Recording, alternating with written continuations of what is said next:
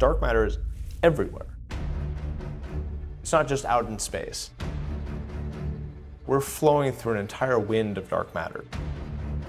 As you sleep, they're under your bed, they're in your closet.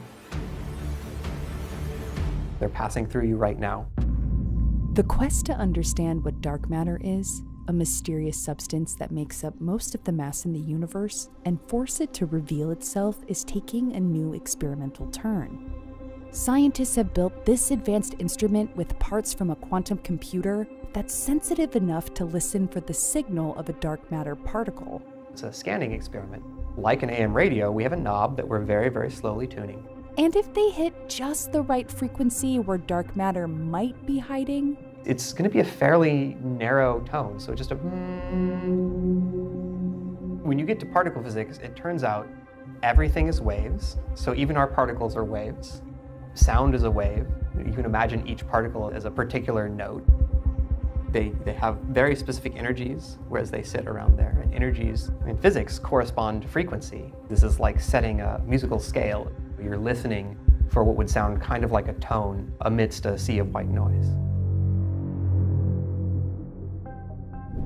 There's numerous astrophysical measurements that look at things in the universe. There are things out there that are interacting gravitationally that aren't stars. They don't seem to be dust. They're not planets as far as we can tell. You find that this, this extra stuff out there isn't even made of atoms. This is very peculiar because you're made of atoms, I'm made of atoms. Almost everything we can study is made out of atoms, and so this means it's, there's something new and different out there, some new different particle, and we call it dark matter. So the theorist sees these astrophysical observations and says, aha, there's something new out there. And they've got a set of things that could exist, but don't necessarily do exist. And the experimentalist's job is basically to go through these one at a time. On the list are some dark matter particles with names as weird and curious as the physics behind them. People have heard of WIMPs. There's also MACHOs, which is kind of the exact opposite of a WIMP. Those are massive astronomical compact halo objects. Think black holes. There's WIMPzillas, WISPs, hidden sector photons, there's stealth dark matter. And the star of this episode that's getting this big experimental push is called the Axion. This theoretical particle was named after laundry detergent in the 1970s because it could clean up two big problems in physics dark matter and the strong CP problem.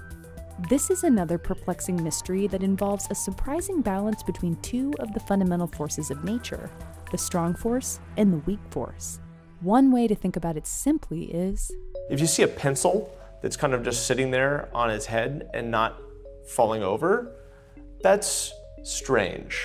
It should fall over unless something else is holding there. The best idea for that is something called Peccei-Quinn symmetry, which basically cleans this problem up and explains, oh yes, there's this natural cancellation, and the only side effect is there's this extra particle called the axion. And it's produced in large amounts in the early universe and doesn't interact very much, so it's still there. And so it's just as a consequence of fixing this nuclear physics problem, you have stuff out there gravitating, not interacting, and it fits the bill for dark matter just perfectly. It's too good of a coincidence to not pursue, to not go and try and find the axion. Okay, so how do physicists set out to find this hypothetical particle that may or may not exist? First, follow the theory. It's almost certainly very light, and when I say very light, much lighter than an electron. Being light actually makes it much more wave-like than particle-like. It would act a lot like a, a radio wave that carries a little bit of mass. With the right conditions, you can convert energy between axions and real radio waves. And basically, you just need a strong magnetic field that can do this conversion process. Then, build an instrument that's specially designed to do this called a haloscope. It's basically a telescope, but looking for the dark matter halo. The whole experiment sits in a large magnet um, around 8 Tesla, and that promotes the conversion of axion dark matter into detectable radio waves. And we do this inside uh, a microwave cavity, which is like a big soda can made out of copper. The cavity itself is actually tuned by two tuning rods. Those are positioned here and here. Um, they're connected all the way to the top um, by a couple of gearboxes.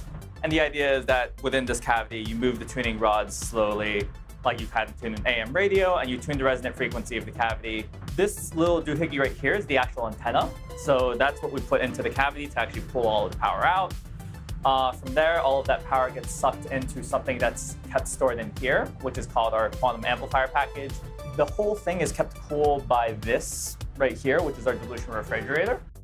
Because axion interactions are so weak, you need almost no background, and there's plenty of background just from things having a temperature, they just radiate.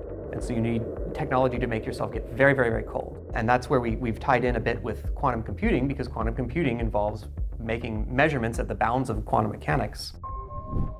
There's been a lot of development for radio scale amplifiers and, and ultra sensitive electronics that work at these ultra cold temperatures. So uh, while they're trying to read out their qubits, the same sort of devices can be used to try and detect extremely small amounts of power that might be coming from dark matter. And the difficulty is I said, oh, you want the cavity to be at a particular frequency that corresponds to where you want to look for the axion. That frequency has a lot of wiggle room, according to theorists. So we'll start around 500 megahertz and working our way up to, say, 10 gigahertz. So we'll look in one region, one frequency range. We'll not see any power out. And then we move on to the next range, and we have to be able to scan that very quickly. Most of the work is in just keeping the experiment running. It, it, it, has many moving parts, many complicated systems.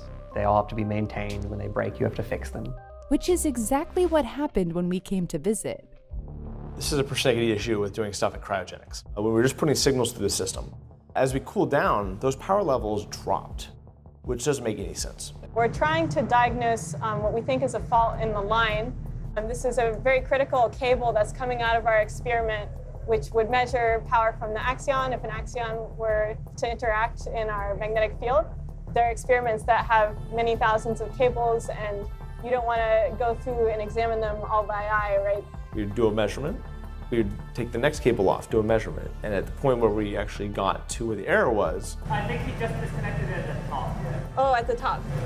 He just did, so he just made it. That's interesting because I think that's where the break is, just looking at this. Due to strain on the cable, part of the pin actually just pulled back. Things strain and, and, and contract when things get cold.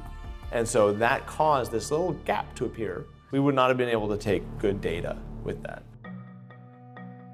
We've recently crossed the threshold where we are now sensitive to the types of interactions the theorist predicts for axions. Kind of the exciting thing is that any day you could just hit it and it's there and it'll be obvious and clear. My dream is that I get a call or I'm looking at the data and I'm like, there's a little peak there. Let's let's zoom in on that. Let's take a little more data on that. Oh, that peak is staying there. Let's move that magnet down. But so far, by and large, it has been white noise.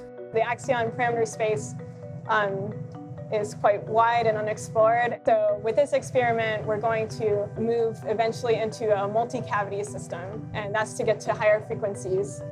If we were to explore the entire possible range, if there is no axion out there, then that problem has not been solved and we need some new ideas. A null result actually pulls the floor out of some other areas of physics that are very interesting. Dark matter is a difficult problem. You have to be motivated by this mystery to push the envelope to actually discover things, you're gonna have to do that cutting edge work. You have to be able to fail. Even if it's a complete failure of the experiment, you don't find anything, that's not actually a failure, that's you're exploring the boundaries.